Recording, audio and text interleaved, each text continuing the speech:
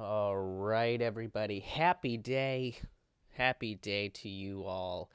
Uh, we are kicking off this daily daily video thing that I'm doing. um, yeah, uh, I'm I'm a little pretty sure I'm back under the weather. Pretty pretty sure that's what's happening. Uh, somebody mentioned that yesterday because I was all sniffly, and I figured it was just allergies because my allergies have been um, going up and down the last couple days. But uh, I was, uh, you know, I, I was kind of trying to. I was tapped out by like four o'clock yesterday, and it was really, really difficult to get through the rest of uh, rest of the afternoon.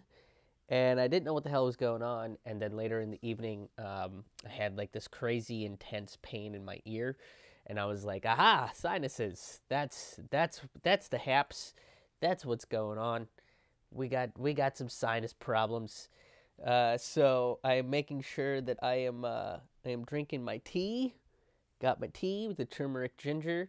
Uh, this is my uh, I I really like this mug a lot for some reason. Uh, my sister got me this mug. It's an Escape from Alcatraz mug that I've got here drinking with the with the tea. It's super fucking hot right now, uh, and I'm like kind of burning my fingers a little bit by picking it up. so I'm gonna leave that back there for a minute. Um, got my water. I took some took some medicine this morning, um, and and uh, basically I'm at that point where I'm like, okay, I guess.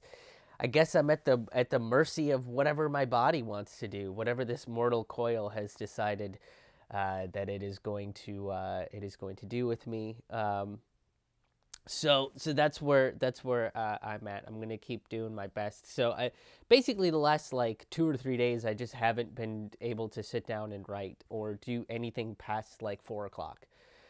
I've been able to make these videos. I've been able to like edit them and put them up and update a few things and take care of these little uh, little projects here and there. But like it's been it's been a crazy struggle because it's just it's hard whenever I get to that point to like be able to focus on a thing.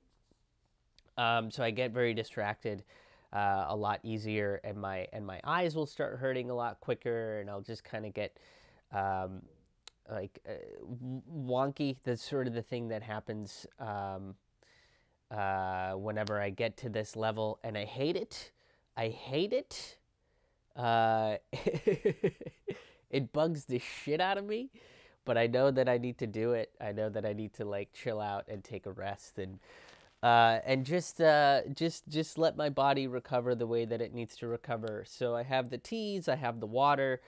Um, I've got uh, I've got some OJ, uh, a lot of liquids. A lot of liquids is what I'm doing. But I wanted to make sure, like right now, my energy level keeps fluctuating. It keeps going up and down. Um, you know, so so right now I'm doing okay. I'm I'm at a I'm at a pretty decent energy level to to make this video and and hopefully get it out and chat with you guys.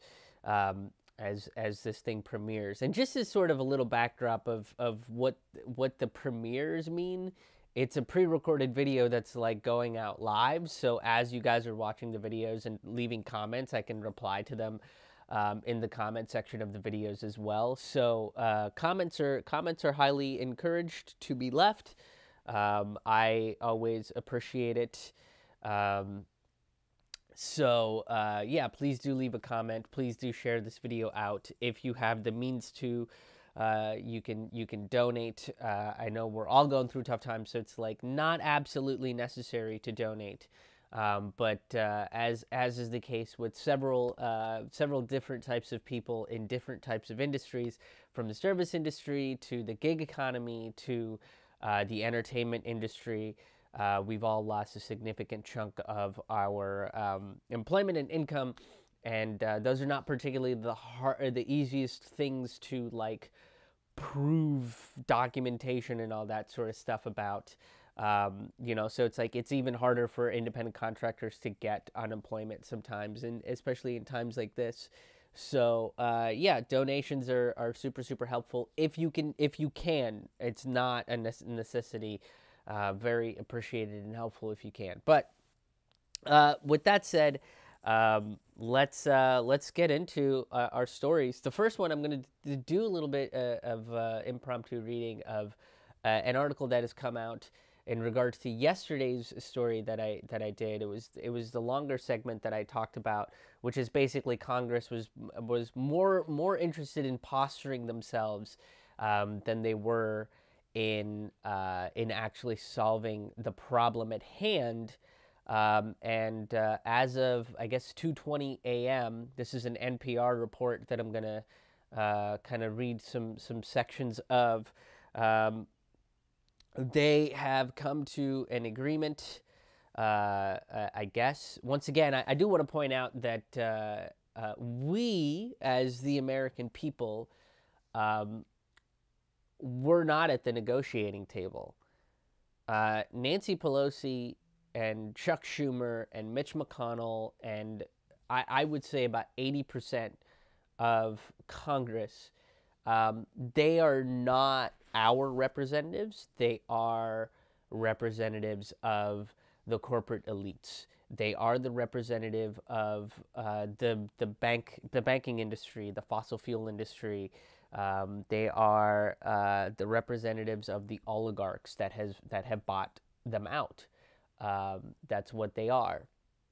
Because again, I, I want to remind people that the the moment that Trump came out and said we need to give direct payments to Americans, uh, which was earlier last week, I think Monday or something. Um, last week he he might have said something along those lines. The the the Democrats were the ones that came out and said no, we can't give these direct checks to people to regular average working class people who are going to be suffering the most uh, we have to give small business loans so that they can keep their payrolls active.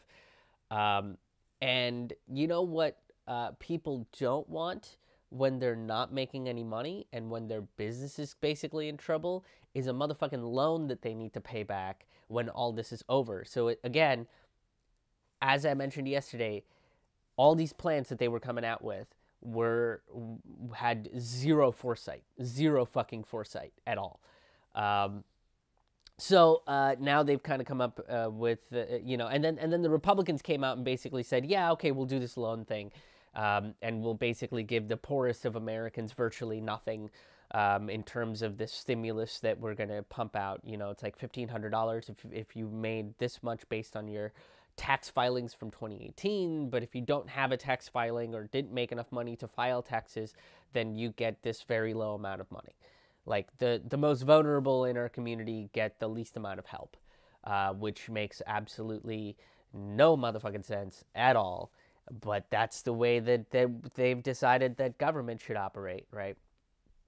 Anyway, um, then they, the the the Democrats came back and were like, "Wait a minute, no, we don't like this plan anymore," right? So it just became this posturing battle. Um, and uh, and as of yesterday, it, they were they were going back to the original thing of giving direct checks to America, which was again Tulsi Gabbard and Andrew Yang. Um, Andrew Yang popularized the idea of a universal basic income, um, giving direct checks, direct direct money to Americans um, and uh, Tulsi Gabbard was the one that came up with the emergency UBI. And then you had Bernie Sanders that came up with a point by point plan of how you uh, make sure that your economy stays active um, in a time of crisis and then after the time of crisis. Um, and then uh, how, um, how healthcare and basically all these other industries uh, involved with and surrounding the healthcare um, healthcare industry should act. So he made a point by point plan so all these outsiders came up with these plans, and now it's just like the corporate Democrats are co-opting these plans because uh, they see that they, this is an election year, and somebody needs to say that one of these parties is good when neither of these parties is fucking good. So, um, yeah. So here's here's uh, here's what the article says: The Trump administration and Senate Majority Leader Mitch McConnell announced early Wednesday that at the White House and uh, that the White House and Senate has reached a deal for the uh, an unprecedented $2 trillion spending package aimed at propping up individuals, businesses, and the nation's healthcare system amid the onslaught of the coronavirus uh, pandemic. Um, unprecedented is the key word there. Unprecedented. This is only unprecedented because it's literally the first time that that Congress is taking people into account beyond platitudes, and they're actually like forced to do something about it. Um, so, uh, McConnell appeared on the Senate floor to say that he had good news. Uh, McConnell said of the legislation, in effect, its wartime level of investment, adding that it would come up for a vote later Wednesday. The Senate will reconvene at noon. Uh, war. This is a wartime level investment. Why? Why is it that these sort of investments are only made during wartime, where we're like, oh, we need to pump up people?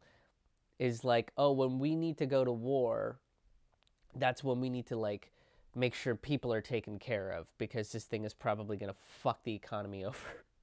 and the only time we've ever seen going to war actually be beneficial for the economy in any any way um, was World War II, and that was like a completely different set of circumstances uh, than uh, than than what we have now.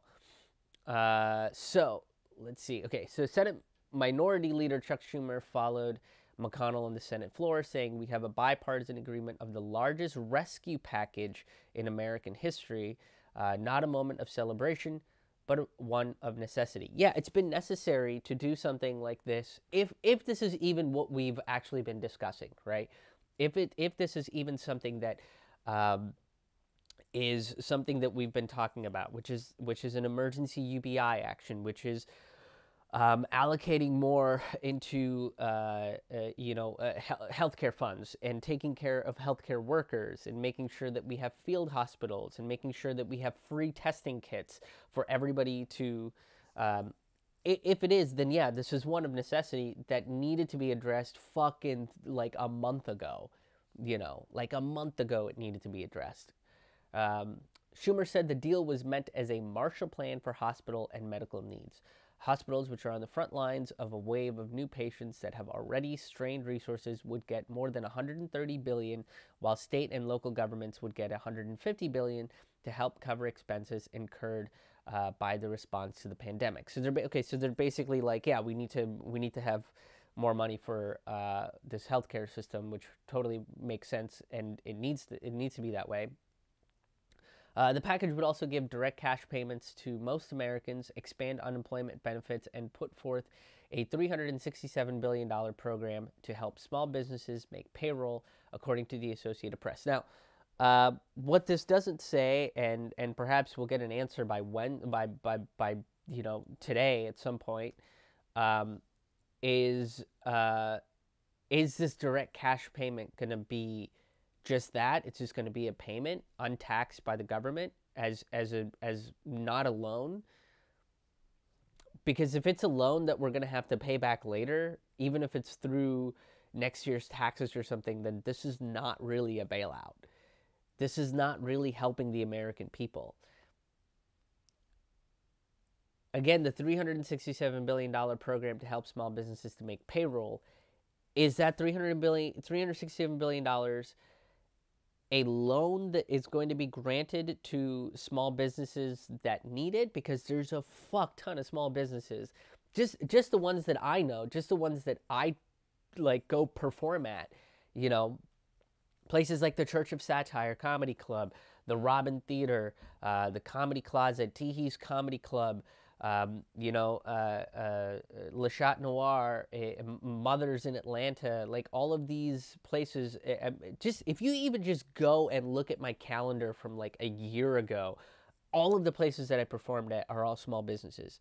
They're all DIY venues. Like they're, and that's just my calendar. You know, like there's so many fucking mom and pop joints, and uh, and and if and if this is just you giving them a loan to help them out with um, with small business costs or, or, or to make payroll, that's not really helping them out. You gave Wall Street $1.5 trillion and then more money after that, where you just made that money up. So you're helping out companies and corporations that don't need help. Don't, they're fine. The CEOs of all of these fucking corporations are going to be fine.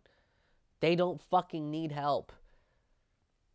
Regular average Americans do, right? The people that people that in a month are going to sit there and be like, "I have this much money in my account and I have to figure out how to stop XYZ payments and not occur late charges and interest fees for all the payments that I can no longer afford to make. Like, this is, if it's a loan, then this is stupid.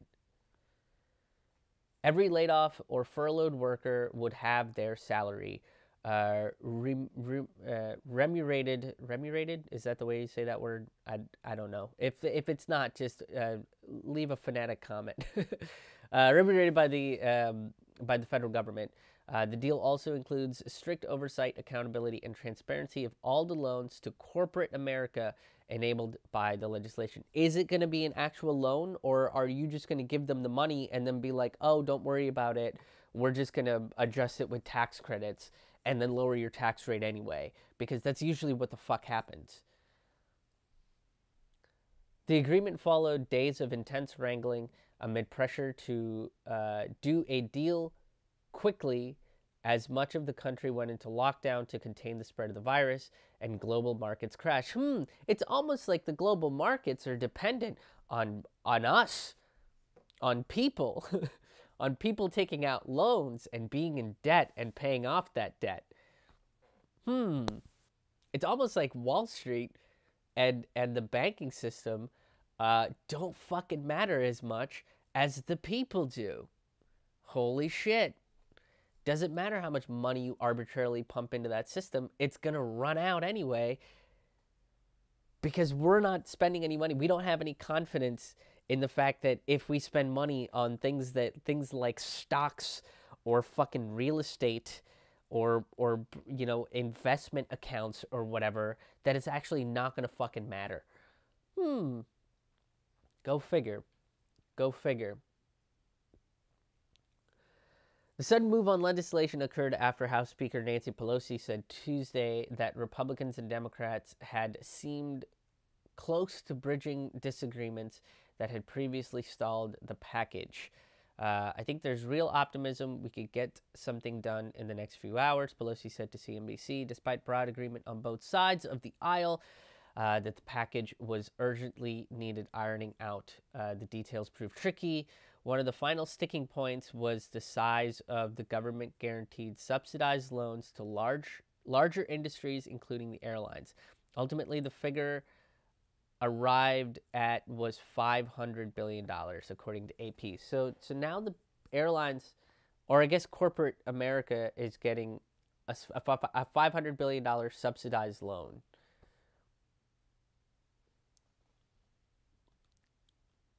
And if if our deal as American people is not better than that, uh, yeah, I don't, I don't really fucking see us getting, um, keeping this system around, uh, for too much longer. I mean, fuck, you had you, te- you had the lieutenant governor of Texas yesterday, uh, talking about how people need to sacrifice themselves to the economy, like Eh, do I mean how much more do we need to prove that there there is a religiosity surrounding this shit?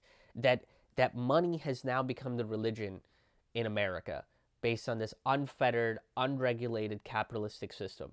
That it, that's what it is right? Like we are now at the stage where it's no longer an economic principle that is meant to help out people, that is meant to decrease poverty, that is meant to decrease suffering in the world, because capitalism in this country hasn't done that. There's there there's a vast income um, income divide.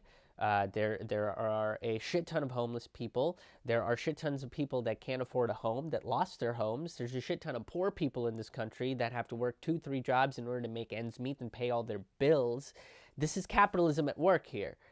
And now it's got to this religiosity level where we're doing what the Mayans did when they truly didn't understand what the sun wanted, right? And they were like, oh, you know how we keep the sun burning is by sacrificing a bunch of people. That's what the sun wants. The sun wants us to sacrifice a bunch. Look, if that's what you're getting from all of this, then then we're done. The system is done. Uh, it, once we go into let's let's make human sacrifices to keep the economy going, uh, I think we need a new economy. I think it's probably time that we got a new one. You know, one that didn't work on human sacrifices, maybe, you think? Name one time in history that when somebody is asked for a human sacrifice, that everybody's been like, this makes sense. This is the right thing to do. I think uh, even like in the Mayan days, there were probably a couple people that were like, Are you sure this is what the sun wants us to do? Kind of seems crazy that the sun, which seems like it's a bajillion miles away, would want us to just kill this random lady. Uh, seems anybody want to say anything about this? No, we're all just gonna shut the fuck up and watch this person die on an altar. Like, what a ridiculous statement to make. So we'll see what happens with it. Um, according to this, they're they're uh, they've agreed to uh, you know help out the American people, giving stimulus checks and so on and so forth. Um, we'll see if that's if that's actually what they do and when those checks come out because April 6th was when Trump wanted to get those checks sent out.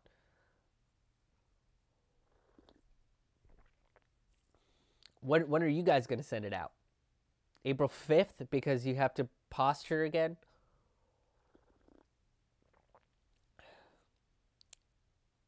Ugh. All right. So, um, amid this uh, this this COVID nineteen situation, uh, the DOJ is tr- trying to get emergency powers. Uh, basically, um, they want to pause all court proceedings during an emergency, uh, which would mean that if you are arrested for anything, uh, or have have been arrested uh, for anything uh, in the midst of this, uh, you can't have a trial to seek release. So you just you're you're just guilty, and then you remain guilty, and there's no habeas corpus involved uh, because the courts have decided that that's what they need to do. And uh, so this is technically unconstitutional because habeas corpus is a constitutional right. Uh, and uh, if the proceedings are paused and you're in jail, then you just stay in jail? That doesn't, that's what the fuck. Like if you, eh, how how is it that a system that constantly tells people that they need to be safe during this time of crisis is just like, yeah, but we're gonna do a bunch of shit that's the opposite of that, though. But you guys, but don't, but yo, don't you dare, but don't you dare, because, because we'll get you. We'll get you. I don't think jails are again. We talked about this a couple days ago. Is like I don't even think like county jails are probably the most sanitary location. You know, like that's and and this continues to push this narrative that we are guilty before proven innocent. That's what this does. If you're gonna if you're gonna pause proceedings, um, look, if you're gonna pause proceedings, then fine. Um, put these people on a probationary period, I guess. You know, with with uh, with with limited interactions or something because I get it. You got to go through the system, whatever. But this is not the system that uh, is is it, it's just illogical to maneuver a system like this, where you're just like, oh, you got arrested for something and you're going to be in jail, and we had a trial plan for you, but now all this other stuff is going on, so you can just stay in jail. Is completely it doesn't make any fucking sense as to why this would be this way, why the system would operate this way um, to get them home, right? And and just give them limited uh, interaction. I don't know. Try maybe a temporary house arrest for the situation, um, and and figure out figure it out that way. But but but let's just keep them in jail. Let's let's not provide them with with a trial to prove their innocence. Um, and by the way, you shouldn't have to prove somebody's innocent because it's innocent before proven guilty not guilty, and then prove to us that you deserve your freedom. It's an extremely backwards way of looking at the law. So this is pretty dangerous. This kind of puts push pushes us further into the um, the the realm of uh, what what the the intelligence community has been convincing us of, uh, which is that we are uh, we are absolutely guilty uh, in their eyes of everything that they have conceived that we are guilty of, right? And it does, and and it's not up to them to prove that guilt. It's up to us to prove our innocence. Um, and uh, and you know their their innocence, the the they will only accept what they feel like they need to accept as a uh, gesture of innocence. And uh, and if you're gonna if you're gonna pause trials the way that they're they're talking about now to give emergency powers over to the Department of Justice, um, this is uh, this is a bad precedent that we're setting. Because you could just consider something a state of emergency now, uh, and and basically say, well, we're going to pause all these trials and keep these people in prison. Um, you know, they can they can adjust this law any way that they want. So keep keep your eyes peeled for for for for some of that bullshit. Um, and uh, and look, I I think you know we should be speaking out against things like this, um, giving giving this much power over to the Department of Justice, giving this much power over to just one specific area. Uh, it's it's a slippery, slippery slope, and it can lead to some pretty authoritarian things very quickly. I mean, not that it hasn't already. Um, the, the the state of uh, um, the American surveillance state is is pretty much authoritarian. Uh, Vault Seven, Vault Seven was was uh, um, uh, information that was leaked by WikiLeaks and Julian Assange that proved that the CIA was using uh, all of our optical devices to and uh, and audio devices to to spy on us and uh, and they were like, yeah, I mean, yeah, uh, because because we have to make sure that you're protected. We we were fine. We were fucking fine. Yeah, but what if you weren't though? That's why we need to keep an eye on you, fucking all the time, right? The panopticon. Uh, the panopticon is uh, is basically like a tower, uh, the first way that it was described was it's a tower um, that would uh, you'd never know who is in that tower, and it would it would have a way to watch uh, the entire prison yard or city or, or or whatever it was meant to keep an eye on, and uh, and it was really you know, uh, like it would fuck up your mental health a whole bunch because you never knew who was in that tower. You never knew whether you were or were not being watched. So it would like goof with your head. Uh, so everybody kind of acted a very certain way of like, okay, we're following the rules. Everybody, oh, don't, okay, don't, I am can't. What if this guy's a bad guy and I don't fucking, you know, like, there was a lot of mistrust in that society, uh, and uh, and we're there, and we purchased it. We purchased we purchased our own panopticons, you guys. Uh, they're they're basically using that as a, as a way to keep uh, keep keep an eye on all of us to make sure that we're innocent, to make sure that the innocent is protected, not to uh, to spy on us and fucking treat us like we're criminals. Why would you need to spy on us unless you think we're guilty of something? And again, it needs to be proof of that guilt. Well, there isn't any proof of the guilt. Most of us are just living our lives the you know on a on a pretty average basis. Nobody's doing anything the only reason why you would need to do that is to spy on private conversations to be like, aha, this guy doesn't believe it, that the intelligence community is is doing them good, and then you know you go and do unconstitutional things under the guise of safety and protection. That and that's what the DOJ is going to to veer into here is by is is by claiming what what emergency powers they need during any sort of a crisis, um, and and putting a bunch of people in prison that don't need to fucking be there that have that that you've just deemed as guilty instead of letting them go through an actual trial.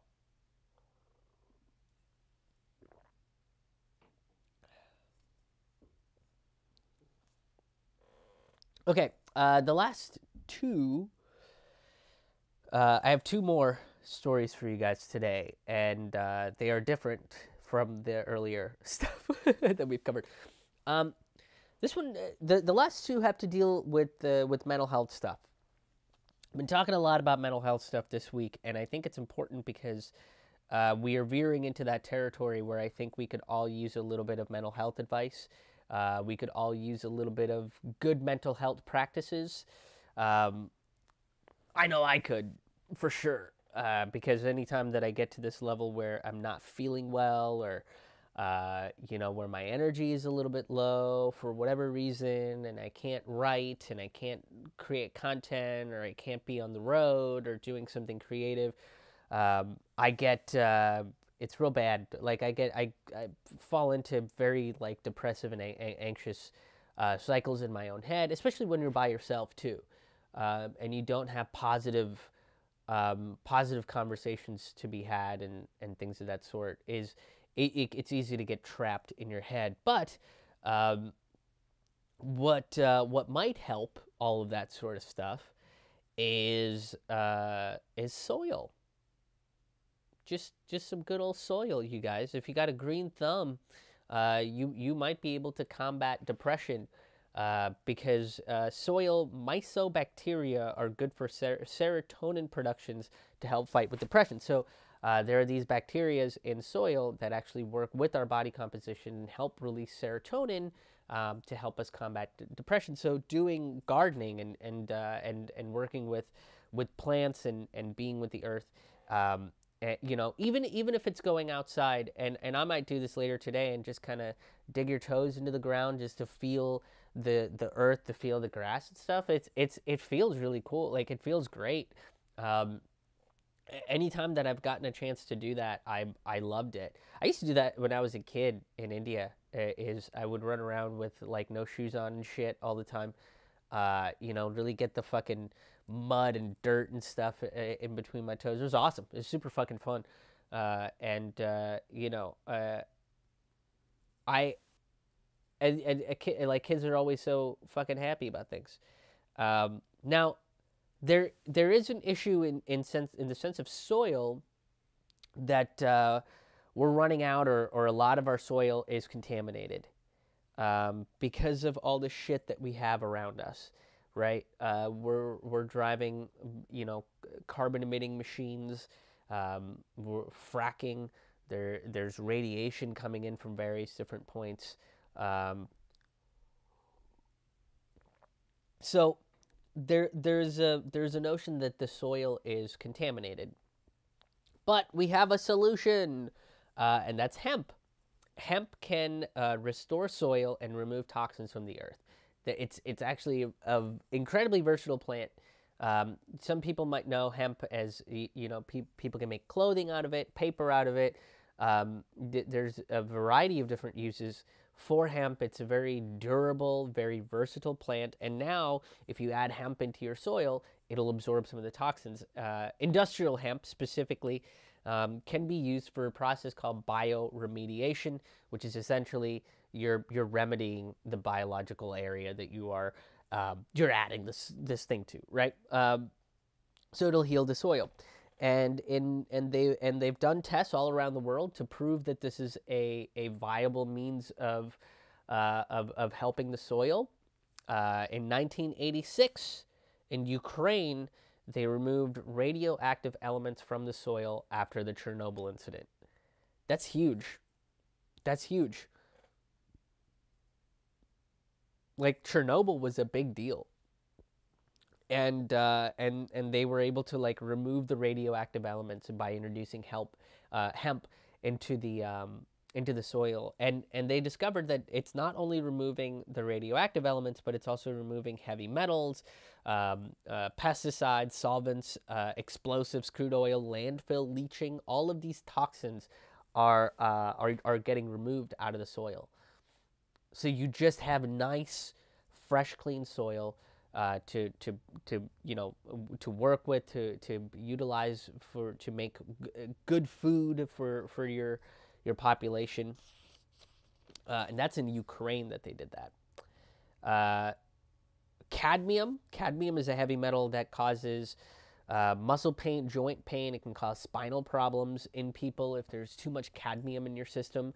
Well, in China, uh, they use hemp to remove cadmium out of their farms um, and clean up their soil.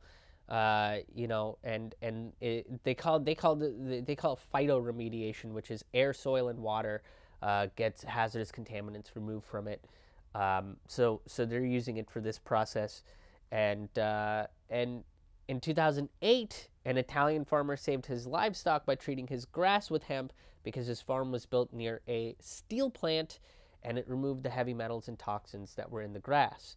Um, by the way, this is like basic bi- like basic biology shit, right? Like, like the cow. If there's toxins in the earth, they wind up in the grass. The cow eats the grass. The toxins go into the cow. We eat the cow. The the, the toxins go into us, and and so on and so forth, right? And then when we die, the toxins go back into the ground because we have this notion that we need to bury our dead in a fucking box so, why isn't it happening in the states? Why isn't the the United States um, utilizing this, especially because we have so much fracking going on, so many pipelines that we're trying to build. Uh, we're, we're contaminating water left and right. Flint, Flint has a water crisis. Um, you know, Pittsburgh has a water crisis too. Uh, a lot of places don't have good water because we privatized it, and now uh, the water supply is uh, is not as good as it, it used to be uh, because of the bogus war on drugs. That's why hemp is hemp is um, is is illegal or uh, I can't remember if it's illegal or just has heavy heavy restrictions put on it. Uh, but I know you have to import hemp and stuff. Um, like you have to look at other countries and there's a, there's a limit on what you can and can't do. Uh, I can't remember exactly what it is, but if you know about it, uh, leave a comment down below, uh, and uh, and I will take a look and and yeah, we'll we, will we'll chat about it in the comments if if you would like to. Uh, but but look, this is this is preventing some real major environmental reforms. Um, this is this is preventing some major agricultural reforms um, because you know part of, part of the thing with with the, the issue with soil itself is that we keep planting the same shit over and over again, and when we do that, um, the soil starts to to lose uh, like nutrients and its and its richness. Um, so it just goes bad. It just gets stale. Uh, think about it. Like even when you do the same thing over and over again, don't you kind of get bored and don't you kind of get like sick of it and you're kind of like less enthusiastic about it because you're just doing the same shit over and over again every single day and it doesn't you know there's no variety in it there's nothing that you're switching up and trying something new and different you know like like that happens to humans and and whether you like it or not there uh, you know soil is alive. There's bacteria and stuff. We we talked about the mycobacteria at the top of this segment and like that's soil's alive. So i'm pretty sure if you keep planting just corn over and over again that soil is going to be like ugh fucking whatever. Like there's no new and there's nothing new being being thrown into it. Um, variety is the spice of life uh, even even in soil. So sometimes you got to plant spices. And I know in America saying you got to plant spices, that's like crazy, you know, because most Americans can't handle anything fucking spicy.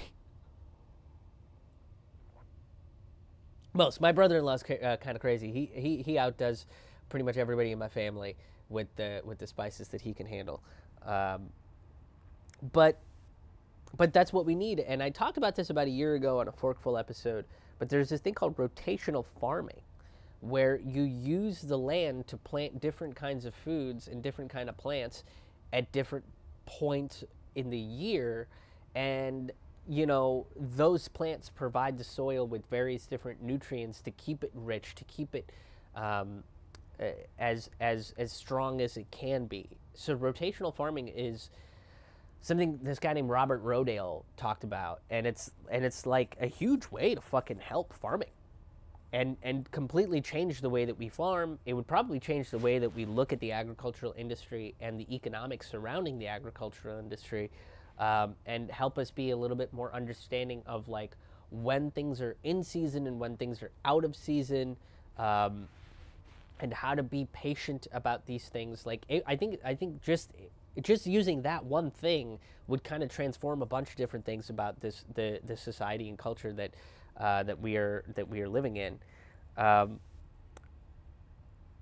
now, here's the other th- here's the other part of it, though. This, this is the last thing I want to say about the subject matter is, look, just because we have a way, let's say we legalize hemp and we start using this in our soil and start pulling out, you know, uh, all the awful shit, the the heavy metals and um, the fossil fuel toxins and the and the landfill leaching and the plastics and all the shit that's in our soil now um, we introduce hemp into it. It starts uh, over the course of the next five years, leaching all of it out, cleaning up our soil, making it more, making it stronger for us to make better food.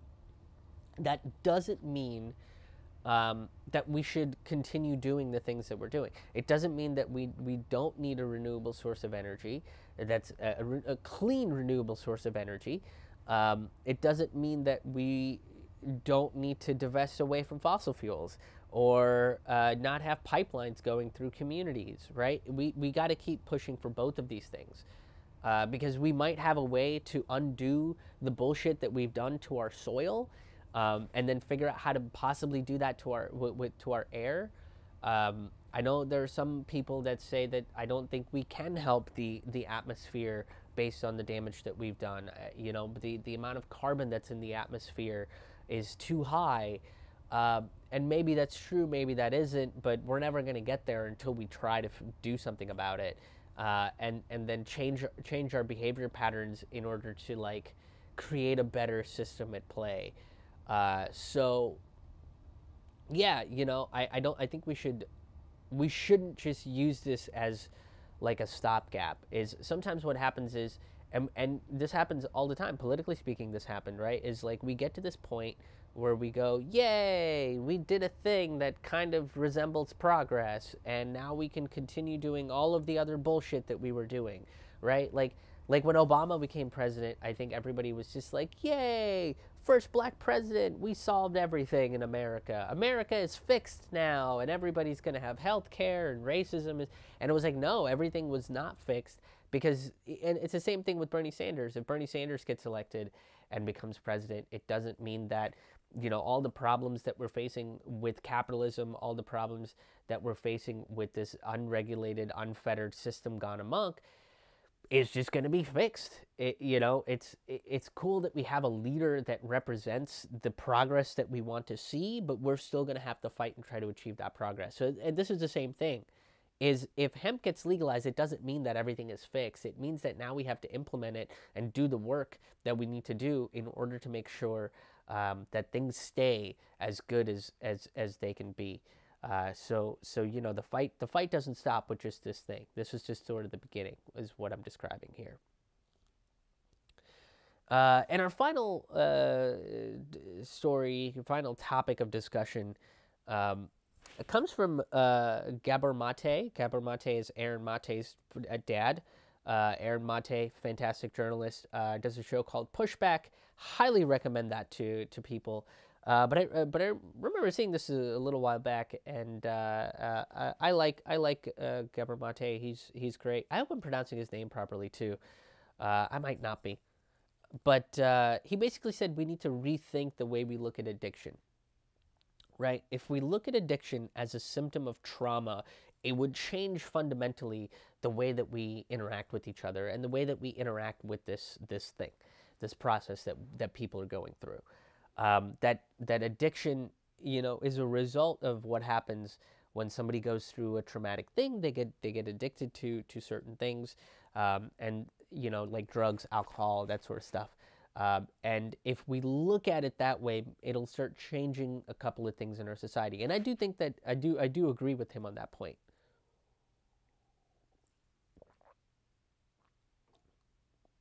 like we have to look at what why people choose to be addicted to certain things. And if it's related to trauma uh, or or how it's related to trauma rather. And i think it would change the way that that law enforcement and criminal justice look at things like drug cases and duis um, and they and they would look at it with a more sympathetic light um, and possibly be able to offer um, help along with the the punishment and the redemption aspect of it. Um, so you know, if you do get a DUI, it's like okay, what's going on? What's what's in your personal file? You know, let's look at let's let's bring in a trauma caseworker in here and talk to this person and um, you know, and, and, a great way to do that uh, too is um, MDMA as a therapy aid. Uh, I've mentioned this. I mentioned this in a stand-up act um, in a show called Approaching Happiness, where um, basically it's a therapy aid. You you you give patients uh, a, a, specific dose of pure MDMA, not Molly or ecstasy, because those are um, those are cut with other drugs, and it's a therapy aid to get people to open up about uh, any sort of trauma that they might have experienced. They um, they don't they don't have the negative aspect of it. They kind of look at it through this either neutral or more positive lens, and are able to just talk about it. And if you're able to talk about it, then you're able to address it. You're able to evaluate with it. You can figure out methods of coping with it. So MDMA helps us do that. Um, and right now, it's the most researched of all the psychedelic drugs. Um, but I think it would just, but doing this, doing it this way, and looking at addiction as a symptom of trauma might also help uh, society reevaluate itself. Right? Is is like how much of our behavior and how much of how we interact with the world around us, and how much of how some of these leaders have chosen to um, lead essentially is related to their trauma you know because because these leaders that we elect into office are not gods. They are human beings just like us you know? So so what what got them to the point where they are leaning so hard to being addicted to money? That's something that that you can look at. What what what happened in their childhood? What happened in their past? Did something you know did they have to go through some kind of a survival methodology or something? Um, you know in order to get there and then evaluate how we can improve our society based on uh, addressing and coping with trauma that we have induced in ourselves I, I I stand by this. I legitimately think that most of humanity is traumatized by its own history. Like our history from from the from the start of recorded history, I think has you know has always had people that come out and it's like no cooperation. We have to have a sense of community. We have to understand differences. We have to look at people through a compassionate lens. And then you also have the other side that's like whatever's different uh, we have to uh, kill it and burn it and destroy it and get it away from us. So you know our history has had this huge level of conflict uh, that i think has has traumatized us to a pretty core level.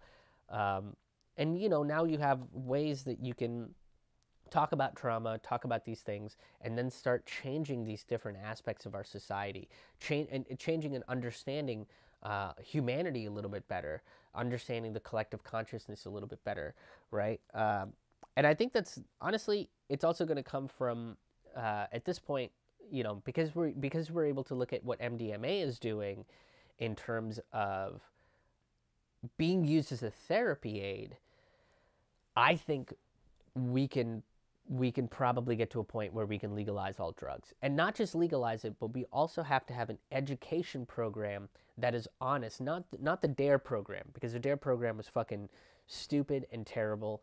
And uh, all it did was create uh, a bunch of scared people that didn't understand what drugs were and um, you know said no no no don't do it don't do it. It's evil it's awful. Don't ever experience it. And and it you know kind of built this oppositional level of curiosity and uh, and didn't really help the case so a bunch of people started doing doing drugs and you know again if that helped them get through their trauma then they they they keep doing it. Um, so we we have to look at it that way, and we have to legalize and educate people on the reality of drugs, right? Like all of them, all of them.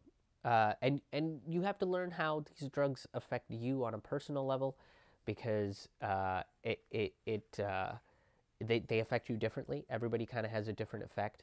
Um, like I'm somebody that if if I experience cannabis, I'm not like uh, it doesn't even matter what it is, but usually like I'm just kind of laid out. I, it just puts me to sleep. It puts me to bed, so I kind of don't really do a whole lot.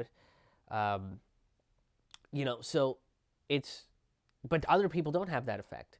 Other people are up and at them. They're fucking buzzing around and they're high as balls all day and they're like getting books written and they're fucking, you know, get, writing code and and they're they're they're shopping and they're fucking they do all that shit and they're masters at it and they're very good at. It. I'm just not. I know that's not my that's not my thing. So so it's it's all so you can be in a controlled environment you can study your trauma, you can study yourself, you can be a little bit more introspective about who you are.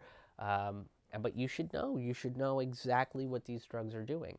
Like heroin, for example, um, you know, Lenny Bruce once described doing heroin uh, as kissing God, which immediately to me it's just like, nope, don't want to, I'd never want to get anywhere near this.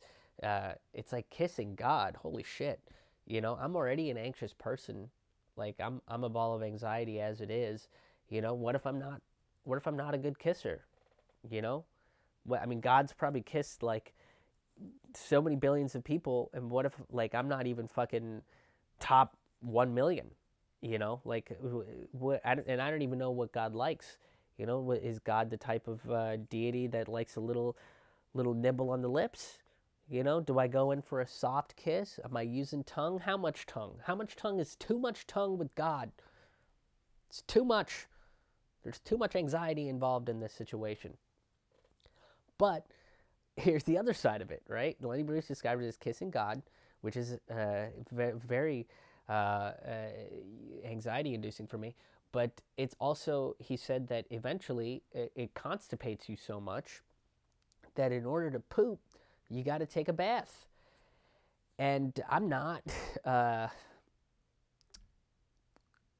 I don't know if anybody needs to be that dedicated to pooping that it becomes uh, that it becomes an event in your life, uh, where it's like, oh, I think I need to to poop. Better better get the Epsom salts and uh, and draw up a nice warm bath. Get some candles lit. Cause yeah, I mean, come on, if you're not, if you're gonna do a bath, you might as well do a bath properly.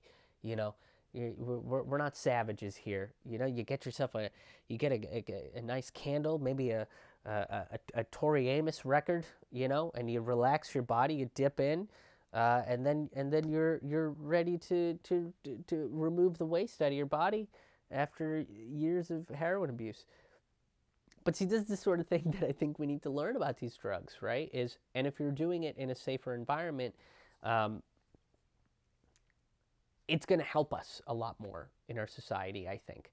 Uh, to experience certain things, to to deal with addiction in a, in a specific manner, right? Because if you are doing that, there's going to be a record to say that uh, you know Krish came in and he did uh, this much LSD on this date, and then wait a minute, he's coming back again a day later to do a little bit more wait and then back again. And so so then they're like hey what's going on? You, you keep coming back and doing this treatment. Are you doing okay? What do you do you need to discuss something?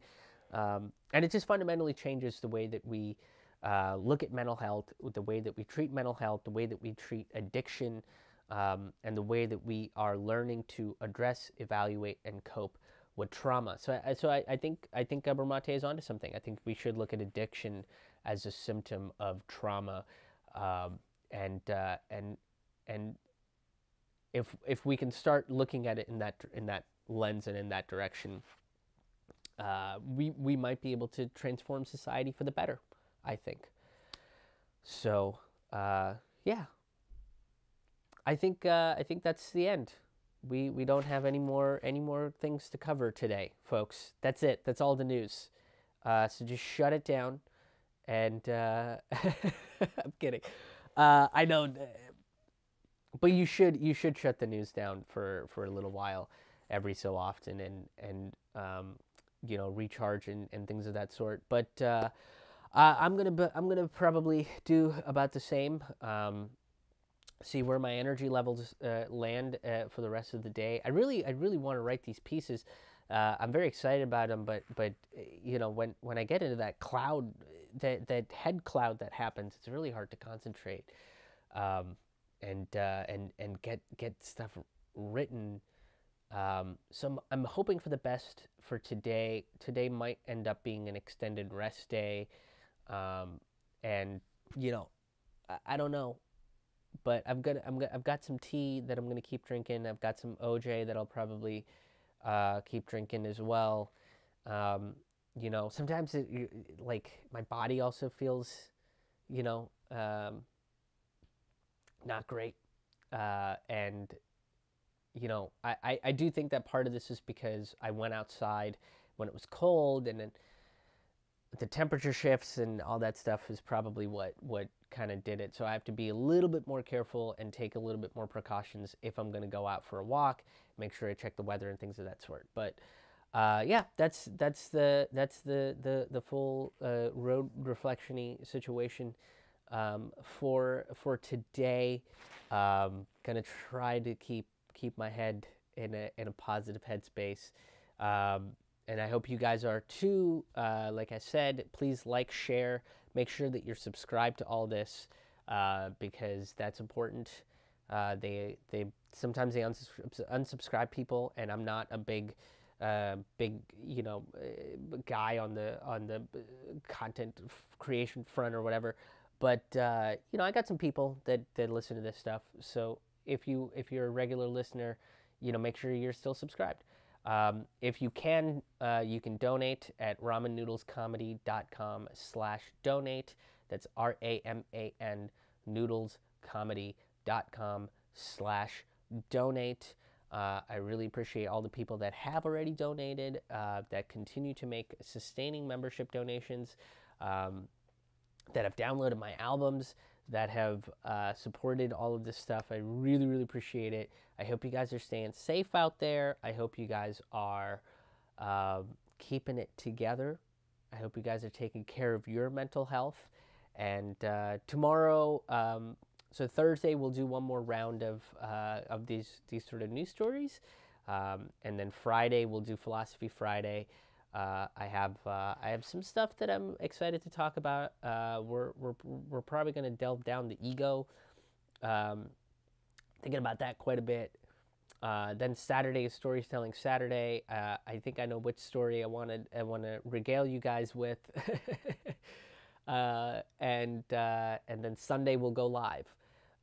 so if um, if you have story ideas, if you have topics of discussion that you would like me to, to delve into, um, you know, especially for that live one on Sunday, uh, please do message me or email me because uh, then I'll have a way to, to look it up. Um, so uh, I'm very, very open to to those sort of things. Very, very open to those kind of suggestions because sometimes I get lost, and sometimes there isn't stuff to talk about because we're only talking about this this virus. Um, you know, and there's there's probably a lot more things to talk about. So. Um, yeah, please, please do uh, send me some stories if you have any stories or, or topics of discussion that you would like me to delve into. Um, but uh, I'm going to I'm going to chill and take it take it as easy as I can today and uh, spend some time recovering, uh, which is very difficult for me to do. Uh, but I will see you guys tomorrow. Thank you for watching. Thank you for tuning in. Thank you for sharing. Thank you for donating. You guys are the fucking best. Uh, but till tomorrow, uh, stay taboo, and we'll see you on the road, folks.